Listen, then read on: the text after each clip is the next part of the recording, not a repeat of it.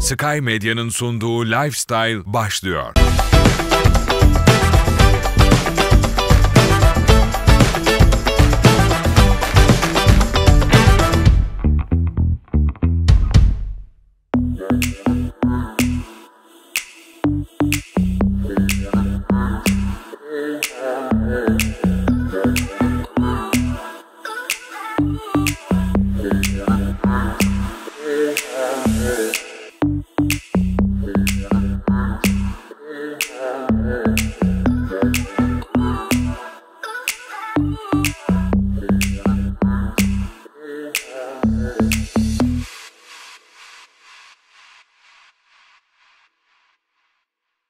Türkiye'nin dört bir yanındaki farklı girişimleri sizlerle buluşturmaya devam ediyoruz. Yanımda oyuncak ve kostüm tasarımcısı Demet Şen Büyükeresteci var.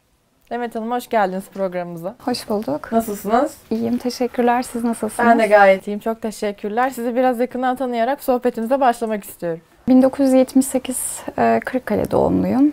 E, İlk ve orta öğrenimi orada bitirdim.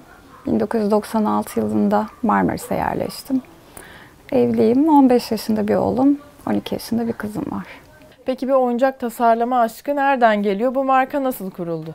Bu marka nasıl kuruldu? Çocukluğumdan gelen bir hayal diyebilirim. Ee, çocukluğumda e, bulduğum materyallerle bebekler yapardım. Onlara kıyafetler dikmeye çalışırdım. İplerden saçlar yapardım. Ee, çocukluğumdan gelen bir aşk diyebilirim. Bu da işe dönüştü. Evet. Biraz da oyuncaklardan bahsetmenizi istiyorum. Arkanızda bir sürü oyuncak görüyorum. Bunların çeşitleri nelerdir? Waldorf bebekler %100 e, organik bebekler. Tamamen iç dolgusu yün, e, cilt kumaşı zehirsiz pamuktan ve e, zehirsiz boyadan üretilmiş tamamen. E, diğerleri de kendi çizimlerimi kullanıyorum. Bez bebek ve cadı grubunda. Her tarzda bebek yapmayı çok seviyorum. Oyuncak bebeklerin özellikle sağlıklı ve doğa dostu olması tabii ki ilgi çekiyor. Siz bunu korumak ve sağlamak adına neler yapıyorsunuz?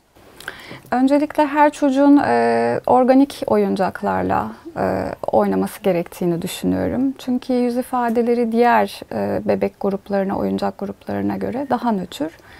E, bunun en büyük e, özelliği de e, çocukların hayal dünyasına o şekilde dokunuş yapmasını sağlamak. Bu oyuncakların tabii ki üretim ve tasarım süreci var. Bunlardan da biraz bahsedelim.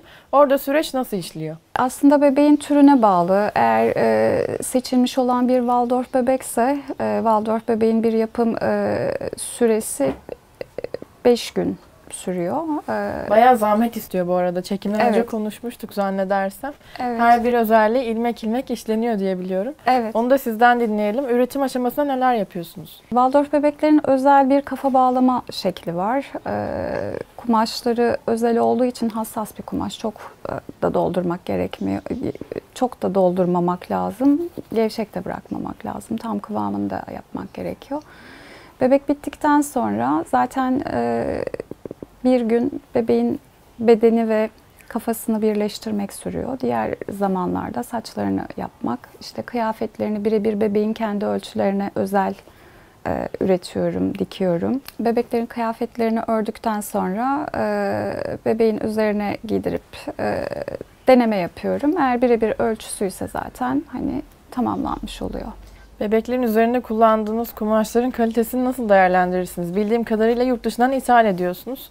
Bunlarla ilgili neler söylemek istersiniz? Evet, özellikle Waldorf bebeklerin cilt kumaşı olarak adlandırılan kumaş e, yurt dışından geliyor. Ülkemizde üretimi yok. Saçlar keçi kılından diyebiliyorum. Evet, keçi kılından, onlar da yurt dışından ithal geliyor. Özel bir örüm tekniği var, özel bir tarama tekniği var. O işlemleri uyguladığınız zaman gerçek bir bebeğin saçı gibi tel tel ayrılıyor. Uçuşmaz ve kopmaz bir özelliği var zaten bunların.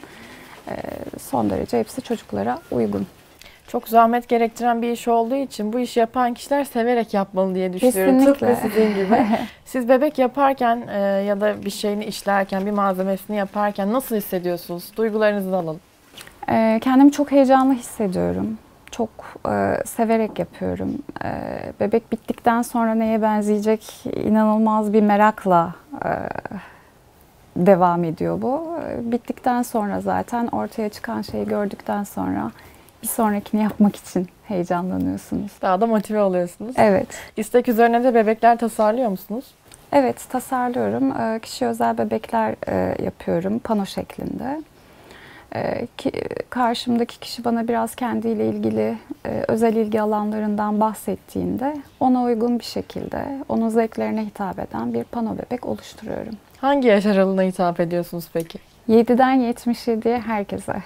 Aslında bunu oyuncak olarak bakmamak gerekiyor. Manevi değeri yüksek bir eşya diye görebiliriz. evet, evet, O yüzden 50 yaşındaki birisi de tercih edebilir, 7 yaşındaki bir çocuk da tercih edebilir bence. evet. Ailelerin tercih sebebinden birisi sağlık ve doğa dostu olması kesinlikle. Onlardan nasıl geri dönüşler alıyorsunuz? Ee, Geri dönüşler çok güzel oluyor.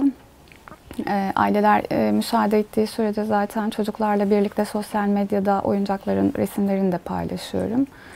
Genelde çocuklar e, oyuncaklarını oyuncaklarıyla birlikte uyuyorlar, e, oyuncaklarıyla birlikte geziyorlar. Eh, Bu da benim için çok mutluluk verici bir duygu.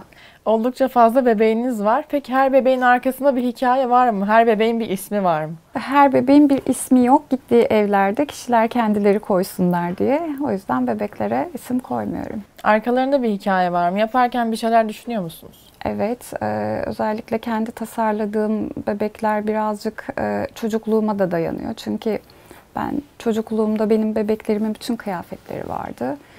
E, genelde oynadığım anları düşünüyorum bebekleri yaparken, hazırlarken. E, bu da bana inanılmaz bir mutluluk veriyor. Siz bir şeylerden ilham almıyorsunuz anladığım kadarıyla. Hepsi tamamen kendi tasarımınız. Evet. Tasarım yaparken kendi ilham kaynağınızı sorayım size. Marmaris'te yaşıyorsunuz. Doğadan mı ilham alıyorsunuz? Evet, kesinlikle. Marmaris'in yeşilinden, Marmaris'in mavisinden, gökyüzünden, ormanlardan. Sizce sizi tercih edilir kılan nedir peki? %100 organik olması, doğal ifade, bebeklerin doğal ifadelerinin olması. Yani onlar fiziksel olarak bir kalıp içerisinde değiller. Şişman ya da zayıf değiller. Yani görünüm olarak da son derece Belli bir doğal. kalıba sığdırmıyorsunuz. Evet. Böyle bir büyük marka var, ismi çok duyulmuş olan. Onların tamamen dışında zannedersiniz. Evet. Markanızı üç kelimeyle anlatırsanız onlar neler olurdu? Aşk, tutku ve emek. Tam da sizi yansıtan kelimeler. Evet. İlerleyen dönemlerde farklı fikirler ışığında yeni projelerde de görecek miyiz sizi? Evet, aklımda fikirler var. Ee, kostüm de tasarlıyorum aynı zamanda. Evet, drama okullarıyla çalışıyorsunuz. Evet, drama okullarıyla çalışıyorum. Oradan talep geldikçe e, kostümlerimi tasarlıyorum. Bu iş üzerinde de biraz daha uzmanlaşmak istiyorum. Bir de sergi projeniz var. Bundan da bahsedelim tabii ki. Önümüzdeki günlerde e, bir sergi projemiz var. E, bir arkadaşımla birlikte. E, onun alanı biraz daha farklı. Ben yine oyuncak tasarımlarımla ve dekoratif ürünlerimle, çantalarımla katılacağım. Güzel bir sergi olacağını düşünüyorum. Bizlere verilen sürenin sonuna yaklaştık. Son olarak Lifestyle izleyicilerine neler söylemek istersiniz? Bizi izledikleri için çok teşekkür ediyorum. Sosyal medya hesaplarımızdan bizi takip edebilirler. Programımıza katıldığınız için çok teşekkür ederiz. Ben de teşekkür ediyorum. Demet Şen Büyük Keresteci ile olan sohbetimizi burada noktalıyoruz. Bakalım bir sonraki konuğumuzda neler konuşmuşuz.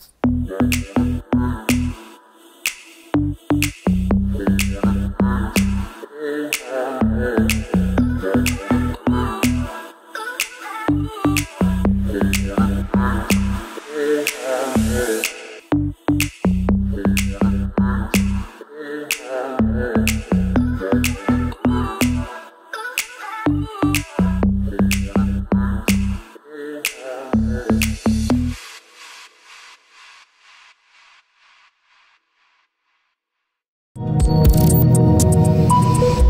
Medya'nın sunduğu Lifestyle sona erdi.